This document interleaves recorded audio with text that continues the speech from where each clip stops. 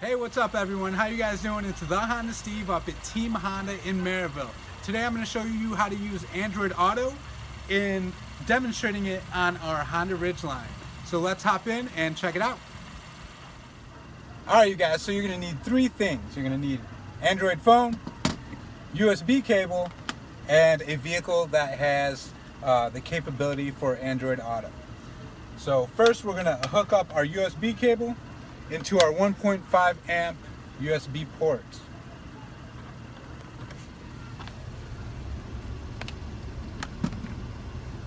Second, simply connect to your phone.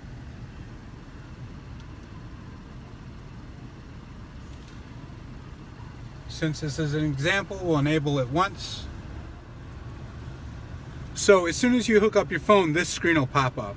It'll prompt you to download Android Auto to your phone. Simply accept, accept. After you've downloaded the app, it's going to ask you to enable Honda Link Assist. I always suggest you do. All it's going to do is call uh, emergency services if you get in an accident. We'll skip this for right now. Okay, so here's your layout for your homepage. Really nice. You do have your uh, Google Maps on here uh, recent calls that you've missed. If you start over here on the left, we've got Google Maps up here. You talk to Google and she'll answer your questions and take you where you need to be. You can also use OK Google by holding down the talk function button on your steering wheel. 2613 East 84th Drive, Crown Point, Indiana.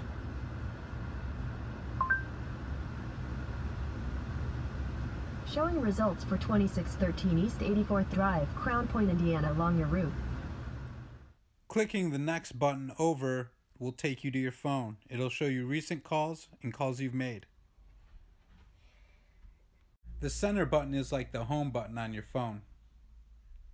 The next button will navigate you to music selections on your phone and take you to different music apps such as Pandora, iHeartRadio, Audible, and Google Play Music. Alright you guys, so it's that simple. Download the app to your phone.